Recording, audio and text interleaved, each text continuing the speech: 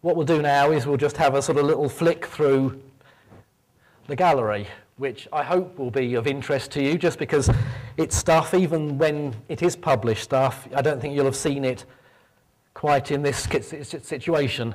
Here's E.J. Su's first pencil sketch of Verity.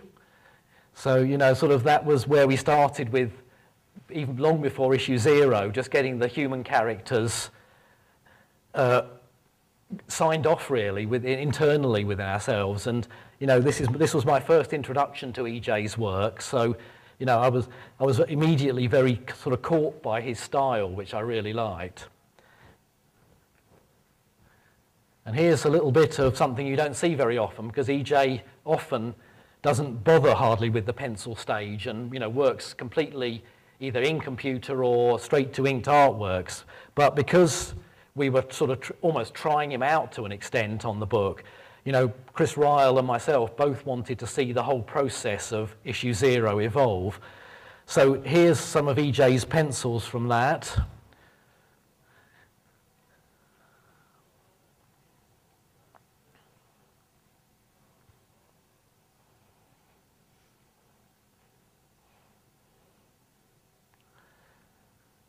And you know, it was a strange thing for EJ who, you know, came on to draw Transformers and issue zero has, you know, maybe two Transformers in it. So, you know, it was quite a, a gamble in many ways to sort of start off this, this new thread of Transformers with so few Transformers in it and actually concentrate on our human cast.